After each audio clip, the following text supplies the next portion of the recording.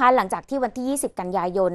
รัฐบาลก็มีการปรับลดเรื่องของราคาน้ำมันดีเซลไปแล้วใช่ครับต่ำกว่า 30 บาทต่อลิตร วันนี้เป็นส่วนของกลุ่มน้ำมันเบนซินกันบ้างนะคะ แต่ว่าเป็นการปรับลดตามราคาในตลาดโลกค่ะอ่า OR บางจากประกาศลดราคาน้ำมันกลุ่มเบนซินแก๊สโซฮอล์ปรับลดลงอีก 50 สตางค์ต่อลิตรนะคะ มีผลเรียบร้อย ตั้งแต่ตีห้าเป็นต้นมาค่ะ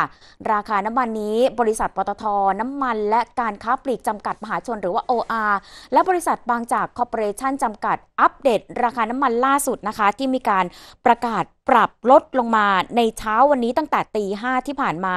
ราคาน้ำมันขายปลีกในวันนี้จะเป็นดังนี้ค่ะคุณผู้ชมแก๊สโซฮอล์ E85 อยู่ที่ 36 บาท 79 สตางค์ต่อลิตรแก๊สโซฮอล์ E20 อยู่ที่ 37 บาท 14 สตางค์ต่อลิตรแก๊สโซฮอล์ 91 อยู่ที่ 39 บาท 18 สตางค์ต่อลิตรแก๊สโซฮอล์ 95 อยู่ที่ 39 บาท 45 สตางค์ต่อลิตร เบนซินอยู่ที่ 47 บาท 24 สตางค์ต่อลิตรแก๊สโซฮอล์95 ซุปเปอร์พาวเวอร์อยู่ที่ 44 บาท 94 สตางค์ต่อลิตร ส่วนราคาน้ำมันดีเซลยังคงเดิมค่ะ